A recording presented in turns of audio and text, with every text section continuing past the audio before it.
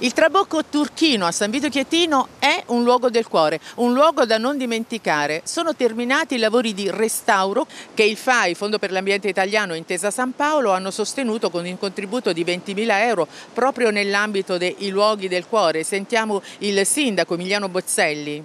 Sì, è un lavoro importante che abbiamo portato avanti nell'ultimo anno, anche se il progetto risale a 2018-2019, quindi prima del, dell'emergenza Covid. Ovviamente è un progetto del, del Comune, dell'ufficio tecnico, di concerto con eh, Fa Intesa San Paolo che ha contribuito per una buona parte. È un progetto che vale 25.000 euro, è un, eh, è un, importo dire, minimo per, per, i lavori pubblici, ma importante comunque perché ci ha permesso di eh, realizzare degli interventi puntuali di eh, non manutenzione ma eh, come è, eh, com è, proprio nel, nel, progetto che abbiamo presentato al FA Intesa San Paolo di eh, restauro, quindi di ritorno all'immagine, all'identità originaria del Trabocco turchino. Nel 2018 il Trabocco turchino, uno dei più belli della costa di San Vito, si è classificato al quattordicesimo posto nazionale, primo in Abruzzo, nel censimento dei luoghi del cuore. Roberto Di Monte, che è presidente regionale FAI Abruzzo Molise.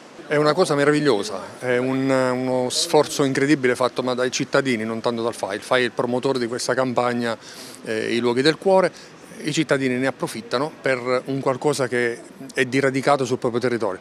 Oltre 20.000 voti per il Trabocco del Turchino ed oggi con una puntina di orgoglio possiamo dire che l'iter per il restauro è terminato e oggi lo riconsegneremo alla città assieme al sindaco del comune di San Vito Chietino che ha dato molto per questo progetto. A seguire i lavori di restauro l'architetto Marcello Borrone. Certo con le somme a disposizione meravigliosamente offerte dal, dal, FAI noi abbiamo in qualche maniera completato la struttura che abbiamo trovato con gli irrigidimenti orizzontali al fine di renderla ancora più solida ma sempre nel rispetto della tradizione utilizzando ovviamente materiali, tecniche e anche conformazioni geometriche che hanno restituito secondo noi l'antica e originale conformazione geometrica.